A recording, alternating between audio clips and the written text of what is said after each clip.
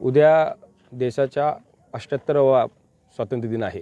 याच्यानिमित्त नामदार मुश्रीफ साहेब यांच्या संकल्पनेतून कागल नगरपरिषदेच्या माध्यमातून कागलच्या पाझर तलाव या ठिकाणी परवाच उद्घाटन झालेल्या नवीन म्युझिकल फाउंटन बोटिंग क्लब त्याचबरोबर कृत्रिम धबधबा अशा तिन्हीच्या जो क- एक प्रकल्प या ठिकाणी आहे त्याचा उद्या सर्व लोकांसाठी पंधरा ऑगस्ट निमित्त संगीतमय देशभक्तीपर गाण्याचा कार्यक्रम या ठिकाणी ठेवून त्याचबरोबर अल्प दरामध्ये अल्पभार ठेवून म्युझिकल फाउंटनवर देशभक्तीपर गाणी वाजवून त्याचबरोबर तिरंगा रंगामध्ये धबधबा जस कसा पडेल किंवा जसा वाहील याची देखील संकल्पना या ठिकाणी राबवण्यात आलेली आहे. सर्व प्रेक्षकांना किंवा सर्व देशभक्तांना आणि कागलवासियांना आणि कोल्हापूरवासियांना या ठिकाणी मोफत प्रवेश या ठिकाणी ठेवण्यात आलेला आहे. आणि या ठिकाणी देशाच्या स स्वातंत्र्य दिनानिमित्त हा प्रकल्प या ठिकाणी होतो आहे पण या प्रकल्पाच्या मागची संकल्पना जी आहे की हा बुशी डॅम्पच्या धर्तीवर हा कृत्रिम धबधबा कर करण्यात आलेला आहे.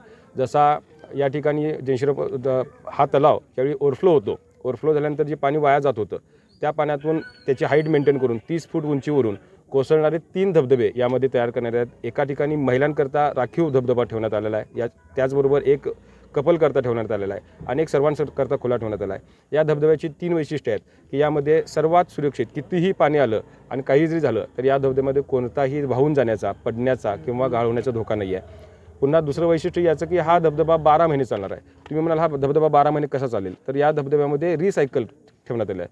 आम्ही त्या धबधब्याची कपॅसिटी मोजलेली आहे. दर एक लाख प्रति मिनिट हा धबधबा पाणी वाया घालवतो म्हणजे जातं त्यातून. तर ते पाणी रिसायकल त्या पद्धतीने केलं जाईल की खाली मोटर तिथे एक टनेल बांधलेला आहे. त्या विहिरीतून तेच पाणी एका कोपऱ्यामध्ये माशांना खाद होईल असं लांबमध्ये उतरलं जाईल आणि नवीन पाणी त्यामध्ये टा टाकलं जातं. आणि हे सगळं करत असताना लागणारी जी सगळी वीज याचं तिसरं वैशिष्ट्य म्हणजे हा सगळा प्रकल्प म्युझिकल फाउंटन असेल बोटिंगचा असेल इथल्या हस असलेल्या सगळ्या कॅन्टीन या पद्धतीची मार्गावरच्या लाइट असतील किंवा रिफिल करणाऱ्या पाण्याचे मोटरी असतील हे सगळं आम्ही सोलर लाईटवर करतो आहे हे या प्रकल्पाचं महत्त्वाचं वैशिष्ट्य आहे की असा प्रकल्प बारा महिने सोलरवर चालणारा धबधबा या महाराष्ट्रामध्ये कुठं नसावा अशी आमची मानसिकता आहे.